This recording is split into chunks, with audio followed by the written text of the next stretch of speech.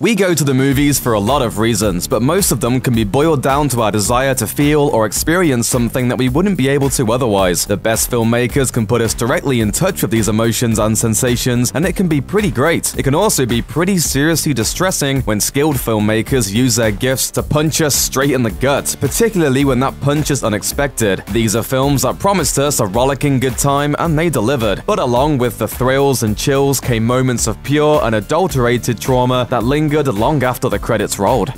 Star Wars The Force Awakens Star Wars Episode 7 The Force Awakens was generally seen as a satisfying return to form for the series after the plodding lows of the prequels, while the story it told was occasionally criticized as being not much more than a rehash of the 1977 original, it also gave us memorable new characters like the malevolent Kylo Ren, Force-sensitive scavenger Rey, and renegade stormtrooper Finn. Plus, there were the welcome returns of Han Solo and now General Leia. Harrison Ford's older and wiser Han was a highlight, and the revelation that Kylo Ren had been born Ben Solo to Han and Leia raised the film's dramatic stakes considerably. The scene in which Han goes to confront his son on a bridge spanning a seemingly bottomless abyss is fraught with tension, and for a moment, Han appears to be getting through to his son, until Ren does the unthinkable. It's been speculated by fans that Han may have gone to his death willingly, in order to help his son transition fully to the dark side so he can successfully infiltrate and bring down the First Order. But even if this turns out to be the case, it doesn't make this scene any less shocking, abrupt, or upsetting, and it wasn't even the first heart-wrenching death in Star Wars.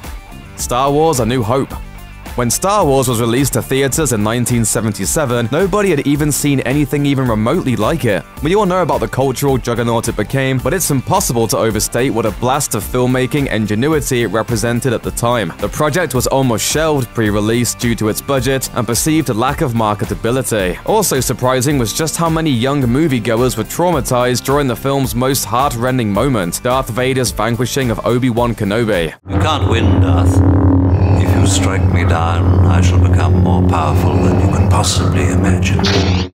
Audiences were left with their jaws on the floor when the Jedi Master lowered his defenses as Luke Skywalker looked on. Luke's reaction mirrored the audience's, and even the Rebels' eventual triumph during the film's conclusion wasn't entirely enough to wipe away the sting of Kenobi's seemingly senseless death.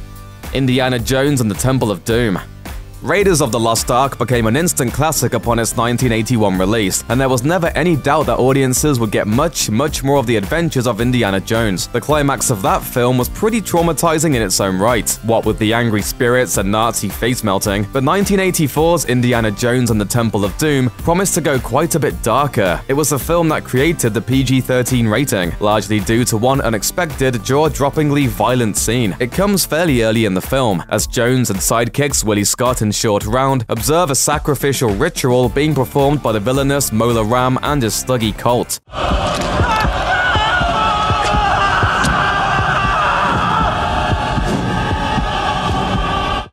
The scene traumatized young fans and received strong criticism. The New York Times called the film too violent based partly on that scene, and probably the one where they ate the monkey brains. E.T., the extraterrestrial. Steven Spielberg has never been unwilling to toy with the feelings of his audience. Even when giving his characters the happiest of endings, he's skilled at drawing genuine performances out of his actors. His 1982 masterpiece, E.T. the Extraterrestrial, is a bit of an emotional roller coaster. Its climactic scene in which young Elliot and his friends evade federal agents in order to help E.T. get home manages to be suspenseful, action-filled, and hilarious at once. But it's not until the threat is over and E.T. is about to return safely home that the waterworks start.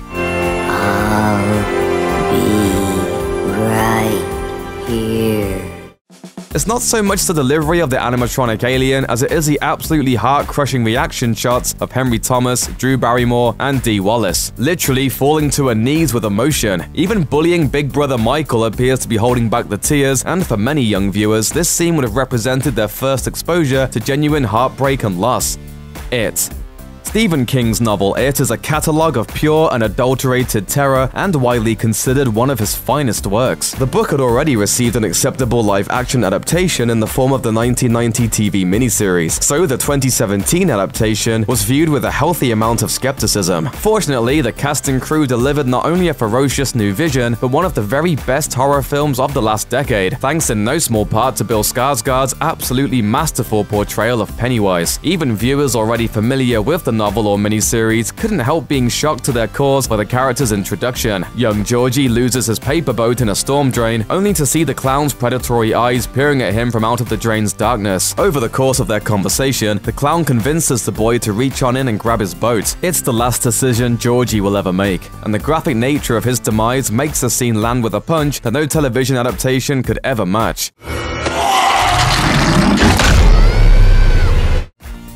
Avengers Infinity War Marvel fans were thrilled when the studio reached a deal allowing for joint custody of Marvel's flagship character, Peter Parker, the Amazing Spider-Man. They were even more excited when the MCU incarnation of Spidey lived up to any expectation they possibly could have had. Tom Holland's endlessly wisecracking version of the Wallcrawler hit the sweet spot with fans that had been left somewhat cold by Sam Raimi's Spider-Man trilogy and Marc Webb's reboots. News of Holland's six-picture contract meant that we would be treated to Spidey's adventures in the MCU for years to come. Then we were given Avengers and Infinity War, the lead up to the end of the MCU's first three-phase Thanos mega arc. We all knew there would be blood. Thanos' killing of Loki and Heimdall in the picture's first five minutes confirmed that the Mad Titan was a threat unlike any the Avengers had yet faced, but few expected the carnage of the film's climax, in which Thanos actually manages to succeed in wiping out half of all life in the universe with one snap of his fingers. Watching fan favorites like Doctor Strange and Black Panther crumble to dust was bad enough, but Spidey's demise was utterly crushing.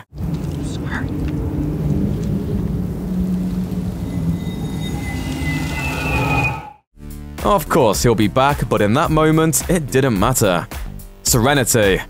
The Fox TV series Firefly aired for only one season in 2002, but all these years later, its imprint on pop culture refuses to fade. A story of an intergalactic band of ne'er-do-wells on the run from the Galactic Alliance introduced us to the crew of the Firefly-class spaceship Serenity. This included sardonic Captain Malcolm Mal Reynolds, his second-in-command Zoe Washburn, and her husband Hoban Wash Washburn, the ship's wisecracking pilot. After the series' abrupt cancellation, creator Joss Whedon gave fans a proper send-off with the 2005 theatrical release Serenity, but he also saw fit to give them a healthy dose of heartbreak while he was at it. Late in the film, the crew succeeds in provoking the Alliance into a battle with the animalistic Reavers, and Wash manages to pilot the damaged Serenity through the melee, landing on the surface of the planet over which the battle is taking place. Just at the moment all appears safe, Wash utters his final words before being impaled by a Reaver spear, dying instantly in front of his horrified wife and captain.